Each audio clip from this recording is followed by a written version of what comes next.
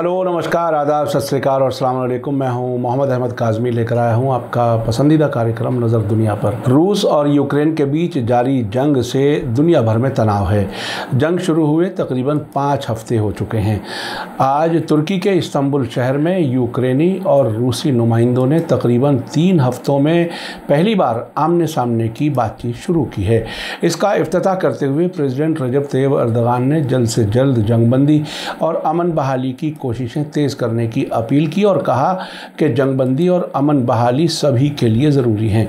Ukraine के president Volodymyr Zelensky ने अपने इलाके या सॉवरेंटी से समझौता किए बिना जंगबंदी की मांग की है। अब से पहले तुर्की के प्रेसिडेंट, रूस और यूक्रेन के प्रेसिडेंट से कई बार बात कर चुके हैं। इस्तंबुल में शुरू हुई बातचीत से पहले दोनों मुल्कों के नुमाइंदों ने आपस में हाथ नहीं मिलाए। साथ ही अर्दगान ने साफ़ किया कि तुर्की बिचौलिए का काम नहीं कर रहा बल्कि बातचीत के लिए फैसिलिटीज़ मुहैया कर रहा है। आखिर तक ज़रूर देखें। आपसे गुजारिश है कि अगर आपने अभी तक Media Star World YouTube channel subscribe नहीं किया है तो सब्सक्राइब कर लें और घंटी दबाना ना भूलें ताकि हमारी हर नई वीडियो का नोटिफिकेशन आप तक पहुँच सके। तुर्की के इस्तांबुल शहर से रॉयटर्स की रिपोर्ट में कहा गया है कि प्रेसिडेंट रजब तैयब अर्दगान ने इस्तांबुल महल में रूस और यूक्रेन के नुमाइंदों का वेलकम करते हुए कहा कि इस क्राइसिस को रोकना उनके ऊपर डिपेंड करता है। यूक्रेनी टेलीविज़न ने बताया है कि बातचीत ठंडे वेलकम के साथ शुरू हुई और किसी ने हाथ नहीं मिलाए। रॉयटर्स के मुताबिक यूक्रेन और अमेरिका को फ़ौरन कामयाबी की बहुत कम उम्मीद है। लेकिन जंग के दौरान आमने सामने की बातचीत फिर से शुरू करना जंगबंदी की सिमत में एक अहम पहला कदम है, जो ज़्यादातर मोर्चों पर रुका हुआ है। और जंग में घिरे हुए शहरों में फंसे शहरियों को बहुत तकलीफ़ से गुजरना पड़ रहा है। यूक्रेन जंग सेकेंड वर्ल्ड वॉर के बाद से यूरोप के अंदर सबसे बड़ी जंग है। अब तक 38 लाख लोग यूक्रेन छोड़कर दूसरे मुल्कों में जा चुके हैं। हज़ारों लोग मारे गए और ज़ख्मी हुए हैं। उधर पाबंदियों की वजह से रूस की इकोनॉमी को बड़ा झटका लगा है। इसी बीच तुर्की के अखबार डेली हुर्रियत ने खबर दी है कि प्रेसिडेंट रजब तैयब अर्दगान ने इस्तांबुल में प्रेसिडेंट हाउस डोलमाबास के ऑफ़िस में दोनों डेलीगेशंस की मीटिंग के शुरू होने के मौके पर यूक्रेन और रूसी नुमाइंदों से अमन समझौते के लिए जल्द क्राइसिस को ख़त्म करने की अपील की। प्रेसिडेंट रजब तैयब अर्दगान ने कहा कि जितनी जल्दी हो सके जंगबंदी और अमन यकीनी बनाने से सभी फरीक़ों को फ़ायदा होगा। हमें लगता है कि हम एक ऐसे दौर में दाखिल हो चुके हैं जब बातचीत में ठोस नतीजे हासिल किए जाने चाहिए। इस वक्त की पेशरफ को देखते हुए आपने अपने अपने मुल्कों के डेलीगेशन के मेंबर के तौर पर शामिल होकर एक तारीख़ी ज़िम्मेदारी ली है। अर्दगान ने आगे कहा कि पूरी दुनिया आपकी की तरफ़ से फ़ायदेमंद और अच्छी खबर का इंतज़ार कर रही है। आप अपने लीडर्स के कहने के मुताबिक अमन की फाउंडेशन रख रहे हैं। हम हर तरह की मदद के लिए तैयार हैं, जिससे आपके काम में आसानी पैदा हो सके। बातचीत से ठोस नतीजा हासिल करने के लिए उम्मीद जताते हुए अर्दगान ने कहा कि जल्द से जल्द जंगबंदी और अमन हासिल करना सभी के फ़ायदे में होगा। साथ ही अर्दगान ने कहा कि बातचीत में तुर्की का बिचौलिए का रोल नहीं है। हालाँकि जब तक आप रिक्वेस्ट करेंगे, हम तब तक बातचीत के लिए फैसिलिटीज़ मुहैया करना जारी रखेंगे, जब तक भी आपको ज़रूरत होगी। तुर्की के प्रेसिडेंट रजब तैयब अर्दगान ने इस तरह की मीटिंग की मेज़बानी करने की ख्वाहिश ज़ाहिर करते हुए कहा कि बातचीत में वे जो कुछ भी पेशरफ करेंगे, उससे अगले मरहले में दोनों मुल्कों के लीडर्स की सतह पर रबता मुमकिन हो सकेगा। अर्दगान ने कहा कि बातचीत शुरू होने से अमन की उम्मीद बढ़ी है और पूरी दुनिया को एनकरेज किया है और तुर्की इस सिलसिले में बातचीत का तहे दिल से सपोर्ट करता है। प्रेसिडेंट ने कहा कि तुर्की ने क्राइसिस के पहले दिन से इसके बढ़ने को रोकने के लिए सभी सतहों पर संजीदा कोशिशें की हैं।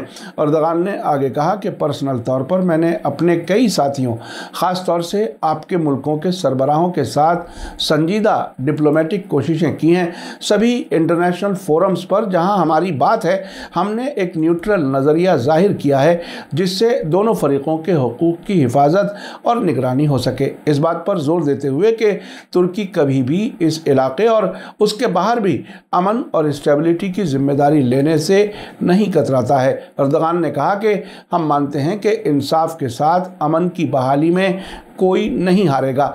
टकराव को लंबा खींचना किसी के फ़ायदे में नहीं है। आपको बता दूँ कि रूस ने यूक्रेन पर 24 मार्च को हमले शुरू किए थे। रूस और यूक्रेन के बीच दो हफ़्ते के गैप के बाद पहली आमने सामने की बात आज 29 मार्च को इस्तांबुल में शुरू हुई है। इससे पहले रूस और यूक्रेन के नुमाइंदे बेलारूस में मिले थे, जिसके बाद वीडियो लिंक के ज़रिए बातचीत हो रही थी, जो अब तक नाकाम रही है। इस्तांबुल में बात होने से पहले यूक्रेन के प्रेसिडेंट वोलोदिमिर जेलेंस्की ने कहा कि उनका मुल्क अपने न्यूट्रल होने का ऐलान करने के लिए तैयार है, जैसा कि मॉस्को की मांग है। और डोनबास के डिस्प्यूटेड पूर्वी इलाके पर समझौता करने के लिए भी तैयार है, लेकिन उन्होंने वार्निंग दी है कि ख़तरनाक जंग जारी है और मॉस्को पर सख्त पाबंदियाँ लगाने में वेस्टर्न मुल्कों की हिचकिचाहट की वजह से यूक्रेनियन लोग अपनी ज़िंदगी से हाथ धो रहे हैं। वोलोदिमिर जेलेंस्की ने कहा कि वो फ़ौरन जंग रोकना चाहते हैं। यूक्रेन के न्यूट्रल रहने और नेटो से बाहर रहने के सवाल पर यूक्रेन में रेफरेंडम होना चाहिए और वो भी तब जबकि रूसी फौजी यूक्रेन से बाहर निकल जाएँ।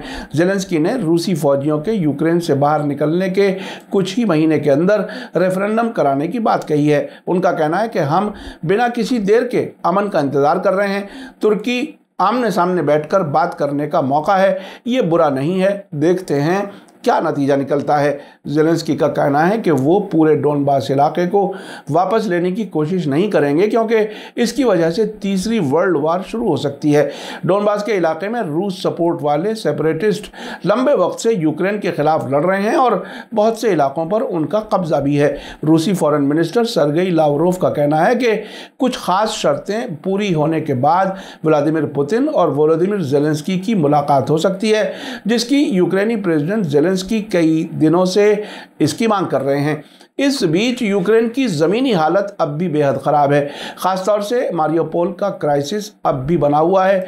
शहर के मेयर का कहना है कि वहाँ एक लाख से ज़्यादा लोग फंसे हुए हैं, क्योंकि रूस इन लोगों को बाहर निकालने के काम को बार बार बंद कर रहा है। दो दिन पहले रूसी फौज ने पहला मरहला पूरा करने और पूर्वी इलाकों पर ध्यान देने की बात कही थी। हालाँकि कल मंडे को भी राजधानी कीव के आसपास के इलाकों से फौज की वापसी के कोई आसार नहीं है। कुछ रिपोर्टों के मुताबिक, पिछले 36 घंटे में रूसी फौज की कार्रवाई में कोई ख़ास पेशरफ नहीं हुई है। ऐसी खबरें हैं कि रूसी फौज तक रसद की सप्लाई में काफ़ी रुकावट आ रही है। यूक्रेन की फौज उसके रास्ते में रुकावट बनी हुई है। रूसी फौज की मारियोपोल पर कब्जे की कोशिश अब भी जारी है। United Nation human rights commissioner का कहना है कि उन्होंने यूक्रेन पर हमले के बाद अब तक एक हज़ार एक सौ उन्नीस आम लोगों की मौत दर्ज की है। इसके अलावा एक 1790 लोग जख्मी हुए हैं।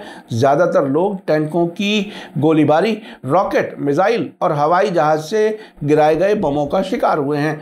रिपोर्ट में यह भी कहा गया है कि रूसी घेराबंदी में फंसे मारियापोल, वोलनोवाखा, इजियोम, पोपासना रूबीज ने और ट्रांसटिया नेट्स में शहरियों को हुए जान माल के नुकसान की जानकारी इकट्ठी की जा रही है और इनकी तादाद अभी एजेंसी की लिस्ट में शामिल नहीं है। आपको याद दिला दूँ कि रूस की लंबे वक्त से मांग है कि यूक्रेन नेटो में शामिल होने की किसी भी उम्मीद को छोड़ दे, जिसे मॉस्को एक ख़तरे के तौर पर देखता है। आपको, हमने 16 मार्च को रूस के फॉरेन मिनिस्टर सरगई लावरोव के हवाले से बताया था कि अमन बातचीत में समझौते पर पहुँचने की उम्मीद उम्मीद है। उनका कहना था कि बिल्कुल ख़ास अल्फाज हैं जो रजामंद होने के काफ़ी करीब हैं। इससे पहले 16 मार्च को ही यूक्रेनी प्रेसिडेंट वोलोदिमिर जेलेंस्की ने कहा था कि रूस की मांग ज़्यादा रियलिस्टिक हो रही है। 10 मार्च को तुर्की के शहर अंटालिया में रूस और यूक्रेन के फॉरेन मिनिस्टर्स की मीटिंग हुई थी, जिसके बाद यूक्रेन के फॉरेन मिनिस्टर ने कहा था कि बातचीत में जंगबंदी हासिल करने के लिए कोई पेशरफ नहीं हो सकी है। यूक्रेन के फॉरेन मिनिस्टर के साथ मुलाकात के बाद सरगई लावरोफ ने कहा था कि व्लादिमिर पुतिन ख़ास मामला पर बात करने के लिए वोलोदिमिर जेलेंस्की के साथ बैठक से इनकार नहीं करेंगे। रूस फिर कभी वेस्टर्न मुल्कों पर डिपेंड नहीं होना चाहेगा। रूस को कमज़ोर करने के लिए वेस्टर्न मुल्क यूक्रेन का इस्तेमाल कर रहे हैं और इस इलाके में एक ख़तरनाक हालत पैदा कर रहे हैं।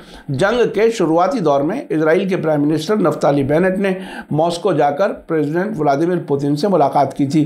फ्रांस के प्रेसिडेंट इमानुअल मैक्रो ने भी पुतिन से बात की थी। उसके बाद तुर्की के प्रेसिडेंट रजब तैयब अर्दगान और भारत के प्राइम मिनिस्टर नरेंद्र मोदी ने भी व्लादिमीर पुतिन और वोलोदिमिर जेलेंसकी से बात करके जंग रोकने की कोशिशें की थी। अब ये देखना काफ़ी अहम होगा कि क्या इस्तांबुल में होने वाली बातचीत के नतीजे में दोनों मुल्कों के प्रेसिडेंट्स की डायरेक्ट बातचीत का माहौल तैयार होता है या नहीं?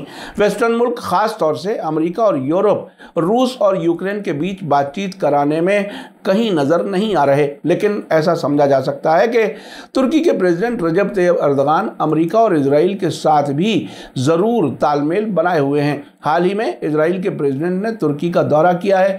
मौजूदा बातचीत के कराने में वाशिंगटन की मर्ज़ी भी तुर्की के साथ शामिल हो सकती है। मीडिया स्टार वर्ल्ड लगातार नज़र रखे हुए है। इसी के साथ मुझे दीजिए इजाज़त। आज का एपिसोड कैसा लगा कमेंट्स में ज़रूर लिखें। थैंक यू, धन्यवाद, शुक्रिया। जय भारत, जय हिंद। मीडिया स्टार वर्ल्ड के और वीडियो देखने के लिए हमारे चैनल को सब्सक्राइब करें और सीधे नोटिफिकेशन पाने के लिए बेल आइकन दबाएँ। और अगर हमारी खबर सच्ची और अच्छी लगे तो अपने व्हाट्सएप इंस्टाग्राम फेसबुक और ट्विटर अकाउंट पर ज़रूर शेयर करें।